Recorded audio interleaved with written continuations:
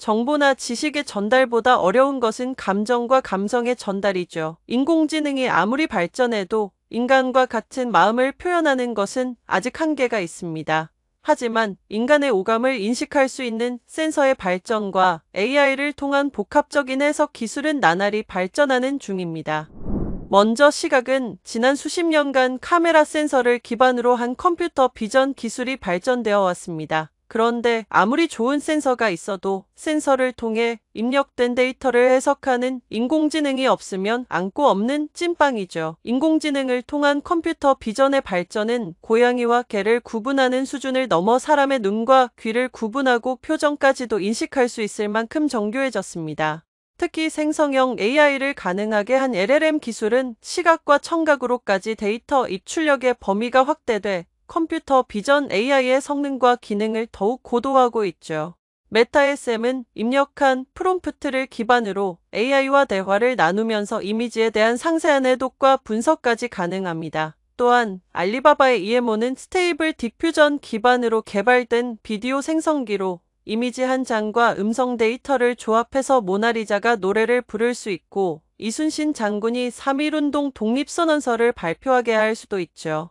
이것은 시각뿐 아니라 청각도 마찬가지인데요. 음성 인식과 오디오 처리 기술은 수초 분량의 음악을 들려주고 무슨 음악인지 검색하는 것은 물론 음성만으로 누구인지 감별할 수 있습니다. 이런 기술의 진보 덕분에 콜센터에서 고객의 감정 상태를 음성으로 파악해 더 적절한 응대를 하고 의료 분야에서 환자의 정서 상태와 마이크에 인입된 응급 상황을 모니터링하는 것까지도 가능해진 것이죠. 하지만 압도적인 양의 데이터가 축적되는 시각, 청각과 다르게 후각과 미각, 촉각은 데이터의 측정과 수집이 부족해 기술 발전이 더뎠는데요. 이 세 가지 기술도 센서 기술의 발전으로 인해 진보하고 있습니다.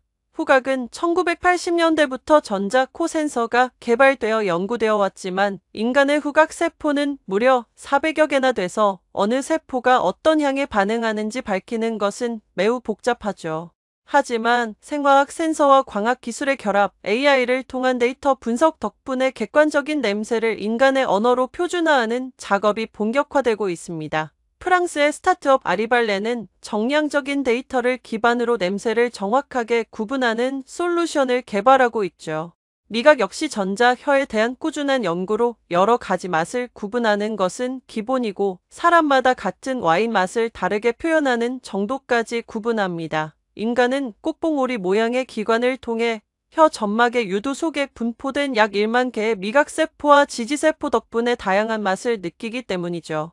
마지막으로 촉각인데요. 로봇은 인공 피부 기술 덕분에 누르고 쓰다듬고 두드리는 등의 다양한 햅틱 자극을 인지하고 달걀, 빵, 푸딩, 가시나무 등의 표면을 정확하게 인식합니다. 이렇게 인간의 오감을 닮은 센서와 기술의 진화는 기계나 AI도 인간처럼 세상을 인식하고 상대의 감정을 헤아려서 감성을 표현하는 것을 가능하게 해줄 수 있죠.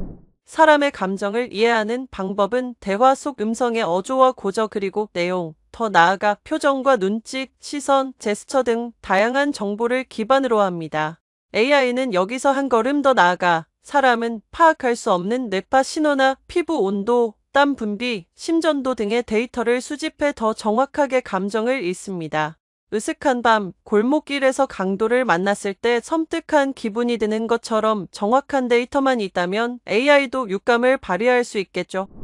그렇다면 오감을 넘어 육감으로 우리의 감정을 느끼는 인공지능이 완성되면 어떤 변화가 일어날까요? 학생의 감정 상태를 파악해 학습 몰입도를 높이고 학습 효과를 평가해 맞춤 학습 콘텐츠를 제공할 수 있죠.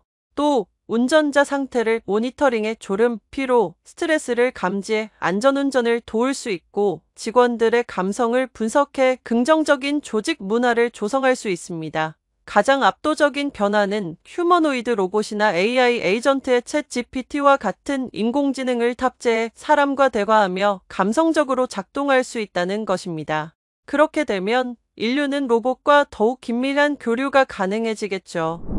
이번 시간에는 인간의 감각을 이해하는 AI와 육감을 가진 감성 AI의 전망까지 살펴봤는데요. IT에 대한 여러 가지 insight를 더 얻고 싶다면 언제든 삼성 SDS 홈페이지를 방문해주세요. 감사합니다.